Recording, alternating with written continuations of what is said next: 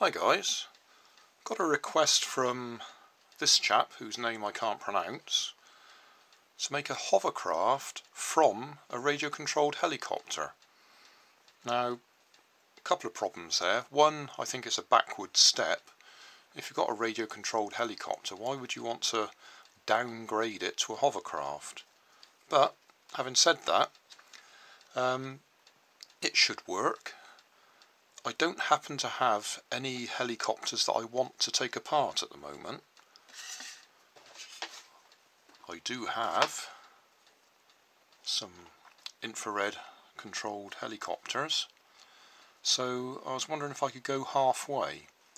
I'll see if I can fit one of these into some sort of styrofoam body without taking it apart at all just fitting it inside and using the power from the rotors to lift the hovercraft. I'm not quite sure what I'll do about getting forwards and backwards out of it. I might just have to have forwards um, by putting some vents on the back. So that's the plan. I'm just going to see if I can make one or make a hovercraft type body out of probably pizza trays and see if it works. The helicopter's on charge at the moment so we'll take a few measurements see what we need to do. That looks like about 170 millimeters tip to tip. The helicopter itself is about 180 long.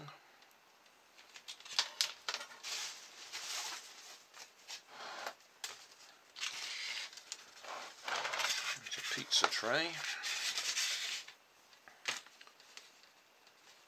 So 170 will be quite a large circle in the middle of that.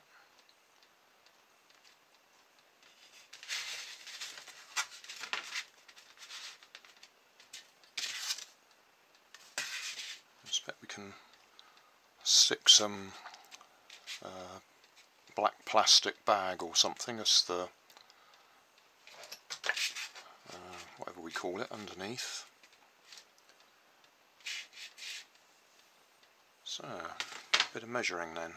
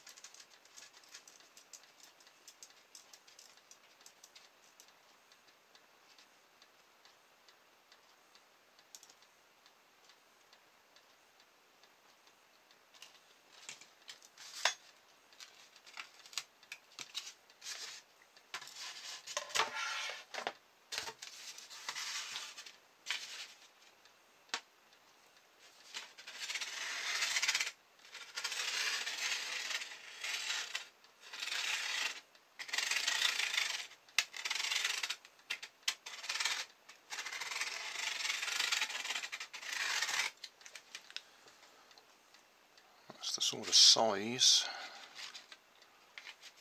that that's going to rotate in.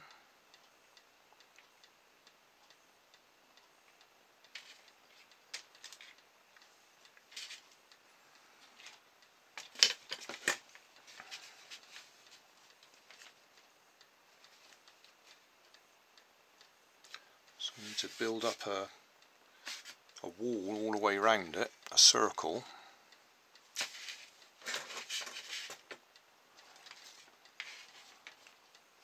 It's got to be sort of that sort of height.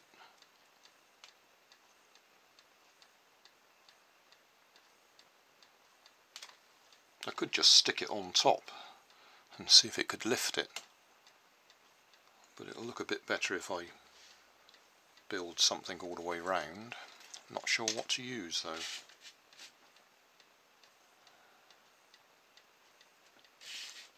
Maybe cardboard, maybe polystyrene. I'll have a think. Moving on a bit. I found some clear plastic. Uh, it was a box long tube and I've cut all around the edge in these little feather shapes so that I can twist it into a circle so that's going to be my air duct. And then the helicopter will sit inside it. I've got to cut a hole at the back so the tail can stick out. So that'll sit in there. On the bottom section I've left enough to actually attach the helicopter to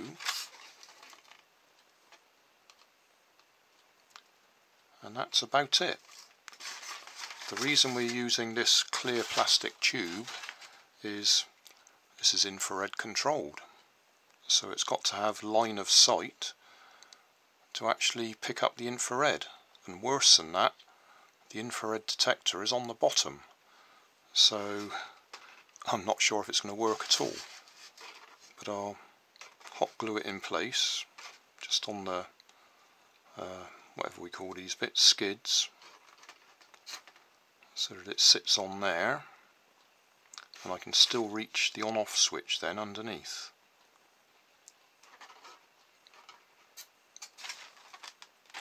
Stick that on top and see what happens. Just very quickly to show what I meant about this plastic um, packaging, plastic tube. I've cut one side off it and then cut these little feathers all the way along so that we can bend it. To put this plastic in place I'm putting double-sided sticky tape underneath each of these petals and working my way all the way around and then I've got to do the same with the bottom. I'm hot gluing the helicopter onto the bottom section. I'm using that hole I used to align the cutting so that I can look straight through it. I don't think the camera will pick it up, I can see the bottom of the shaft. So that means I should have the helicopter perfectly aligned. Before we go any further, I'll just demonstrate the helicopter stuck to the base of this hovercraft I'm making.